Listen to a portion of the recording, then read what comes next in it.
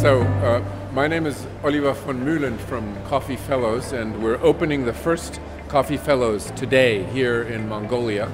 Uh, we're very happy uh, to be having the first store in Asia uh, right here in Ulaanbaatar.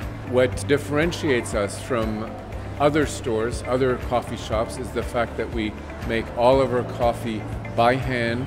We have um, a large bagel selection, very healthy foods, and we have a feel at home atmosphere uh, in our coffee shops. Uh, very comfortable seating, soft seating, and a very nice place to meet your friend.